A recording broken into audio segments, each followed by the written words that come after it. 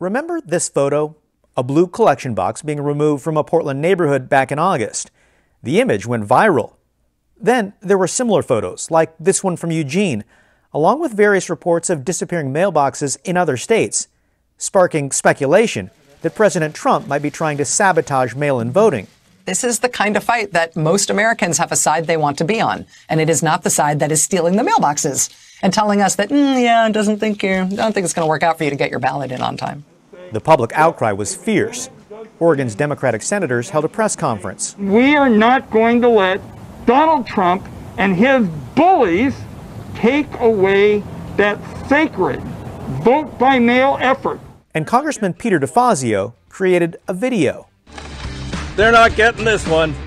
Facing intense backlash, on August 18th, Postmaster General Louis DeJoy halted operational cost cutting changes until after the 2020 election, including the removal of those blue collection boxes.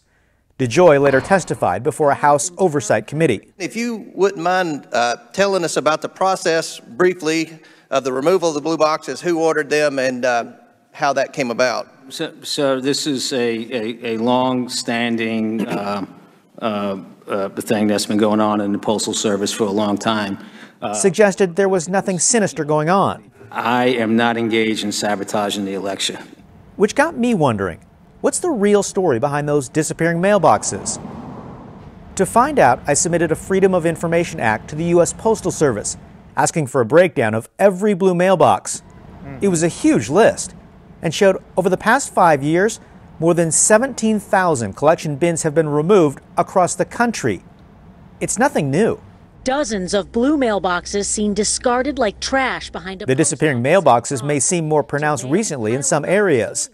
But the data shows since DeJoy was appointed Postmaster General in May, the greatest number of collection boxes were removed from both traditional blue and red states, including Oregon, Texas, Florida, New Jersey, and Nebraska. A closer look at the boxes removed recently in Oregon shows many came from the heavily populated left leaning Portland and Eugene areas, but other, more conservative rural areas in southern and eastern Oregon lost their blue boxes too. A Postal Service spokesperson explained boxes removed in Oregon this year were duplicates, where there were two or three in one location, and decisions are based on mail volume.